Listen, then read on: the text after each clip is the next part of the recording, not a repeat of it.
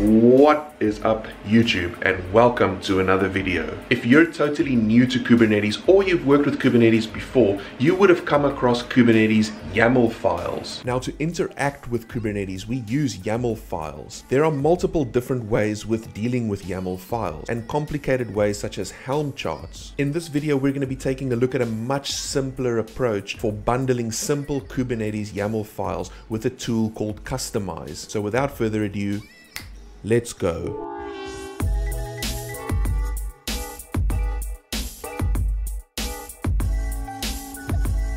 So Kubernetes allows us to describe our infrastructure and our application as YAML files. So if we take a look at the Docker development YouTube series, I have a complete guide on Kubernetes development. If you're new to Kubernetes, please check the links down below to the Kubernetes guide. Basically, we cover everything in Kubernetes such as deployments, config maps, ingresses, secrets, services, stateful sets, and even persistent volumes.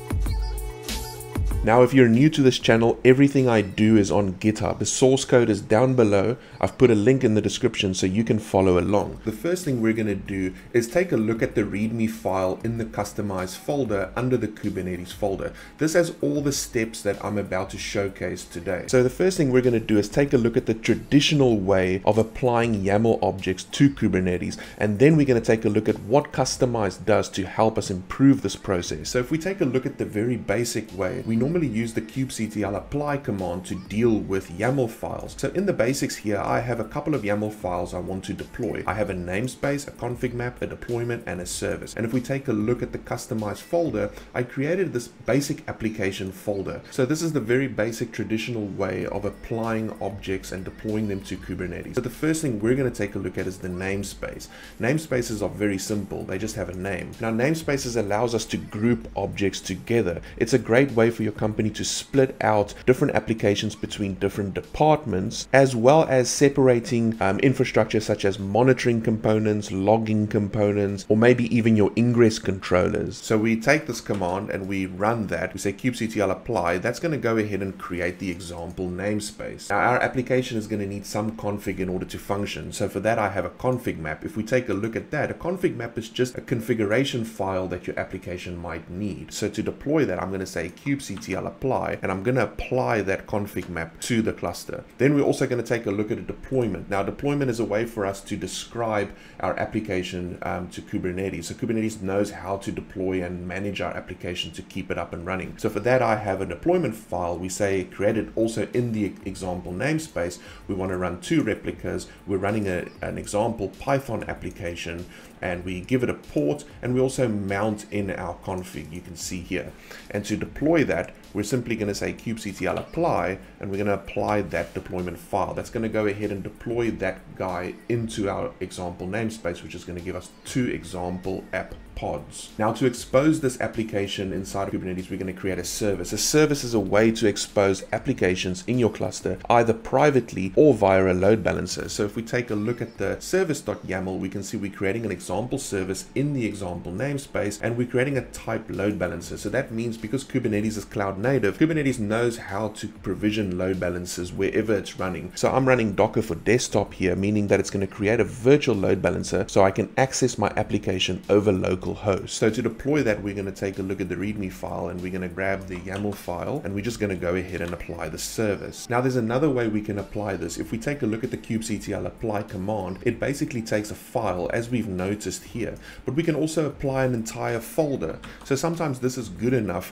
to say, let's just apply the entire folder and that folder becomes our package or our chart or our template or whatever we want to call it. For some people, this is good enough. If you don't need any kind of complicated um, templating and parameter injection, you can just happily take a file, YAML file, or a folder and just apply it to deploy your infrastructure. So to check what we've deployed, we can just say kubectl in the example namespace get pods. We see we have two pods running, and if I do kubectl get service, we can see we have our service running. It's exposed over a load balancer.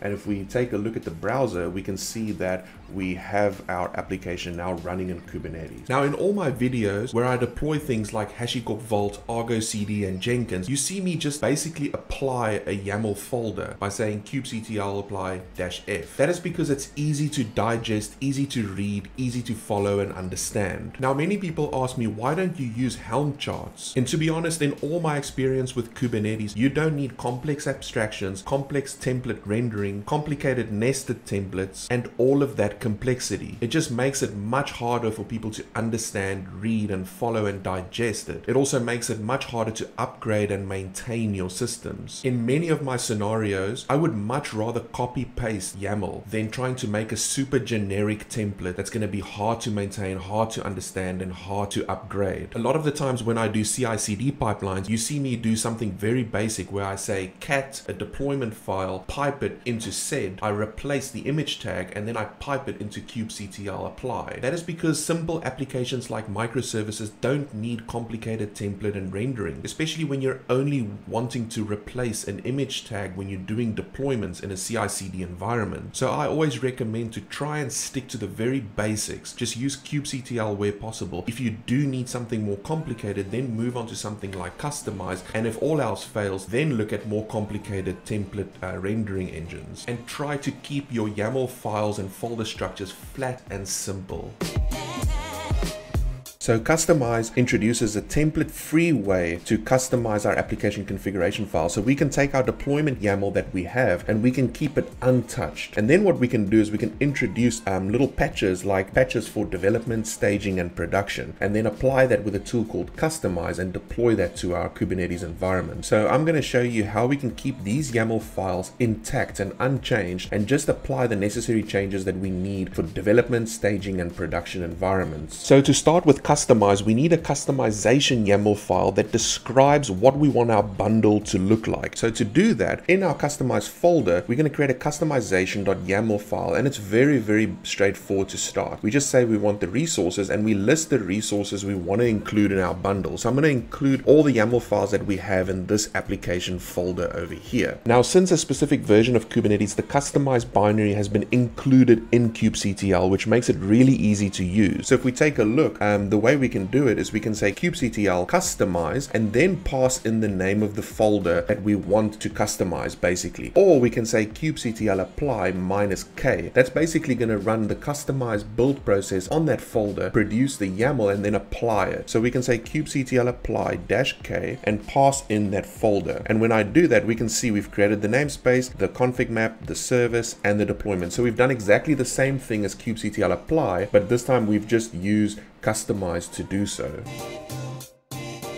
Now, how do we do something a little bit more complicated? Like let's say we want um, to run two pods in development environment, but we want maybe four or six pods running in production. For that, we use a thing called overlays. So if we take a look at what overlays are, we would basically take all those resources we have and that would become our base. And then what we do is we introduce an overlay for dev and an overlay for production. So when we apply our customized file, we say we want to use development and then it will apply it to the development environment. And if we use production overlay, it will, it will patch in the production patches. So to do that, what we're going to do is move our kustomization YAML into the application folder. I'm going to go ahead and do that. And then obviously we have to change the paths. So what I'm going to do is just remove the application folder from here. And now we've basically turned this application folder into our base. So it has a customization file. And now what we need to do is introduce our overlays. So what we can do now, I'm just going to call it environments, but you can call it anything you want. Since I'm going to be having two different environments in here, I'd like to call it environment so it makes sense. And then what I'm going to do is I'm going to create a folder um, inside here called development and production. So you can see now I have a development folder and a production folder. And now we can put new customized templates inside these ones and define what we want to change on the base template. So to define our overlays, what I'm going to do is create a new file inside the development folder called kustomization.yaml. And I'm going to do the same thing for the production folder. So we create two kustomization overlays. Now inside the kustomization YAML for development, I'm just going to specify what base I want to use. So you can see here we're pointing to the folders up, which are our um, application customized file. And then same thing for the production. I'm also going to take this base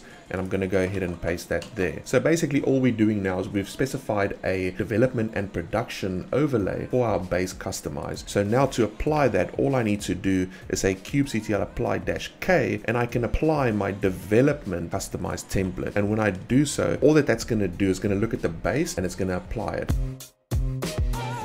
So how do we make changes to our development environment and production environment? So let's say we want to run more pods in our development environment. So if we take a look at the base application deployment YAML, we can see that the replica specified here is two. So let's say in development, we want to run four pods. What we will do then is we'll go to the kustomization YAML here, and we're going to firstly add a new file called replica count.yaml. And then what I can do inside that replica count file, I can apply the patches that I want to apply. So any kind of change I want to make make, I can apply it here. So in this case, we tell Kustomize, we want to make a change to the name example deploy. So it will have to match the name in this deployment YAML. And then we say we want replicas for. Then we also need to go and tell Kustomize about this replica count file. And we do that by going into kustomization.yaml and we add th a thing called patches. So we have add a patch to point to the replica count.yaml. So now Kustomize will know to apply this patch to the original base template. So now if I go ahead and apply that template, we can see that our um, deployment has been configured. And if I do kubectl get pods, I can see we're now running four replicas. Now let's say in production, I want to run six pods. So for that, I go to the production folder, I create a new file called replica count.yaml. And then inside that replica count, I just say, I want six replicas for the production template. And then what I do, go to my kustomization.yaml, and I'm going to go ahead and add the replica count for that one. And then if I go ahead and say kubectl apply, and I apply the production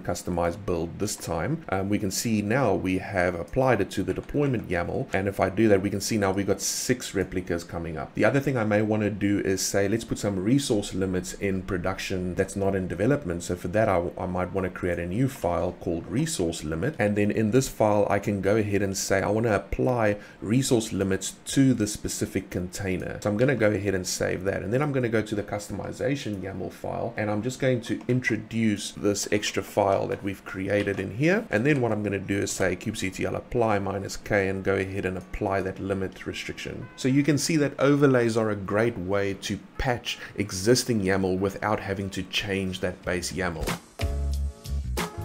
Now there is still one problem with our base template. If we take a look at our application YAML and we take a look at the config map, we can see that we still have a config JSON that's tied to our development environment. So ideally we want every environment to have its own config. Now Kustomize has the ability to generate configs um, from files, which is pretty, pretty awesome. So to do that, what we're gonna do is we're gonna go to our production environment and we're gonna add a new folder called config. So we have a configs folder and then in here, I'm gonna create a config config.json. And in this config.json, I'm going to say environment equals prod. Now, how do we get customized to use this config? That's very simple. So we just go to our production kustomization.yaml file, and then we add this thing called a config map generator. So we tell Kustomize to target the example config, and then also in the namespace example, and the behavior is to replace that config with configs JSON file that we've defined in this folder. So this is a great way for Kustomize to be able to change configs for different environments. So to apply that, I just say kubectl apply dash k and I apply the file. And now we can see that it's gone and configured our config map. Now, if we want to take a look at that config map, we can say kubectl get cm. We can take the name and then we can specify the name and I can say output it as YAML. And if we do that, we can see it's taken effect. So it's gone ahead and replaced that config map um, in our Kubernetes environment. Now, the customized tool has a lot more in-depth and advanced config generators, and which applies to secrets as well. So if you want to take a look at more advanced examples, you can come over to this document over here where they take a look at a lot more advanced techniques and things you can do. Now, what if we want to inject some environment variables to our pods in our deployment? Kustomize also has this capability to do strategic patch merging. For that, let's say I want to add some environment variables. What I can do is I can go to my production uh, Kustomize uh, base and I can say add a new environment.yaml. And then in this YAML, I can specify exactly what environment variables I want to add. So in this case, I want to um, target the container called example app and I want to add an environment var variable called production. And you can do the same thing for referencing config maps and secrets as well. Then to make that take effect, we're going to go to our kustomization.yaml file and we're going to go ahead and add that. That's going to tell um, Kustomize to do a strategic merge into the base deployment. So if it's there, it will update it. And if the value is not there, it'll go ahead and add it, which is quite cool feature. So that's a good way for patching and merging values into our base templates without having to change the original YAML file. A lot of the times we, we are not able to change the original YAML file because they might be coming from other vendors. So to do this now, to apply that um, patch, I'm just going to say kubectl apply-k, and I'm going to go ahead and apply that to the production production. And we can see now deployments has been taken effect. So to take a look at that, I can say kubectl get deploy, and then I can go ahead and grab that deployment and say type output as YAML. And if we scroll up, we should be able to see that it's gone ahead and injected that environment variable into our deployment. Now another cool feature that Kustomize allows us to do is let's say we have a deployment pipeline and all we want to do is change the tag of the image to our deployment YAML and we don't want to go and change the original deployment YAML. So if we take a look at the base application deployment YAML, we can see we're running Python and application version 1.0.0. Now we don't want to change this original YAML. So that is where Kustomize allows us to patch that using the images field. So to do that, all I need to do is go to my kustomization, let's say we want to roll out a new version to production, we go to our kustomization YAML file and we add the images field. And now we can say we want to target the specific image in our deployment. So if you have multiple deployments with multiple containers, you can target specific ones using this. And we say here that we want to apply a new tag with 1.0.1. So to apply that, all I need to do is say kubectl apply dash k, and that'll go ahead and roll out the new deployment. If we say kubectl get deploy and we output that as YAML, we can scroll up and we can see we've rolled out um, Python 1.0.1. So this allows you to use Kustomize in your CI/CD pipeline and just change your tags to do rolling deployments. Now it's important to understand the default behavior when it comes to Kubernetes and config maps. When a deployment consumes a config map, the pods that are associated with that deployment will only consume the config map at the time the pod is created. That means if someone goes later down the track and changes the config map, the pods that are still running will not pick up that new config map until the pods are deleted and recreated. So the same thing happens to Kustomize. So if you take a look at our base base template, we have a, co a config map.yaml and we're targeting an example config. In our kustomization YAML for production, we only override the config from a um, from basically from a config map generator here. But because we're targeting an existing config um, in the base application, that means Kustomize is not going to manage that configuration. So if we do kubectl get pods, we can see our pods were created four minutes ago. And if I go to this config in production and I add let's say I add a new value called hello and and let's say I go and apply that we can see that the config map was configured. But if we take a look at the pods the pods are still running. The same pods are still running so they haven't been recreated automatically. So how do we get customized to manage our config maps? So if we want pods to consume new config every time we recreate the config map or change the config map we're going to need to use the auto rollout feature of the config map generator. So to do that that, what we're going to need to do is we're firstly going to need to go to our base application config map and we're going to have to remove that config map altogether because we want Kustomize to generate and manage our config map instead. So we do that. Then we go to the production kustomize.yaml file and we remove the behavior of replacing config map because we're not targeting an original config map anymore. We want Kustomize to generate a config map on the fly